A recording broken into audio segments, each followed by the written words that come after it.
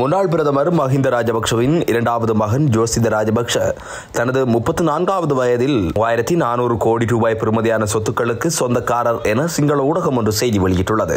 நாட்டு மக்களின் சாபத்துடன் ஜோசித ராஜபக்ஷ இன்றைய தினம் தனது முப்பத்தி நான்காவது பிறந்த நாளை கொண்டாடுகின்றார் என அந்த ஊடகம் குறிப்பிட்டுள்ளது. தனது வயதிற்கு ஏற்ப அவர் மூவாயிரத்தி நானூறு கோடி ரூபாய் பெறுமதியான சொத்துக்களுக்கும் சொந்தக்காரர் என குறிப்பிடப்பட்டுள்ளது. கடந்த ஒன்பதாம் திகதி அமைதியான ஆர்ப்பாட்டக்காரர்கள் மீது மேற்கொள்ளப்பட்ட தாக்குதலின் பிரதான திட்டங்களை மேற்கொண்டவர் ஜோசித ராஜபக்ஷ என குற்றம் குற்றம் சாட்டப்பட்டுள்ளது. எனினும் இதுவரையில் ஜோசிதவிடம் வாக்குமூலம் பெறுவதற்கு அதிகாரிகள் நடவடிக்கை மேற்கொள்ளவில்லை. அனைத்தையும் திட்டமிட்ட ஜோசித ஒன்பதாம் தேதி அதிகாலை சிங்கப்பூரூடாக மெல்போர்ன் நகரத்திற்கு சென்றிருந்த நிலையில் அங்கிருந்து பெர்த் நகரத்திற்கு சென்றுள்ளார். இந்த நிலையில் மே இருபத்தி ஐந்தாம் தேதி இலங்கைக்கு வந்த ஜோசித காணி ஒன்று தொடர்பில் சர்ச்சையில் சிக்கியுள்ளார் எனவும் தெரிய வந்துள்ளது. ஜோசித தனது முன்னாள் காதலி ஜசாரா அபேநாயக்கவுடன் காணியொன்றை அப்போதைய காலப்பகுதியில் கொள்வனவு செய்திருந்தார்.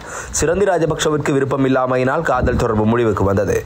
எட்டு வருடங்களுக்கு முன்னர் வேறு ஒருவரின் பேரில் கொள்வனவு செய்யப்பட்ட காணியில் இருந்த வீட்டில் முன்னாள் ராணுவ அதிகாரி ஒருவரையும் போதைப் பொருளுக்கு அடிமையான அவரது மகனும் பாதுகாப்பிற்காக தங்க வைக்கப்பட்டுள்ளனர்.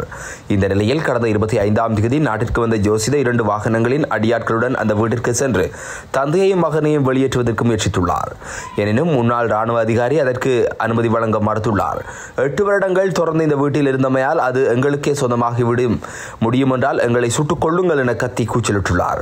இதனால் சத்தம் கேட்டு அயலவர்கள் வெளியே வந்தவுடன் வந்த வேகத்திலேயே ஜோசித உட்பட்ட குழுவினர் அங்கிருந்து சென்றுள்ளதாக ஊடகங்கள் செய்தி வெளியிட்டுள்ளன.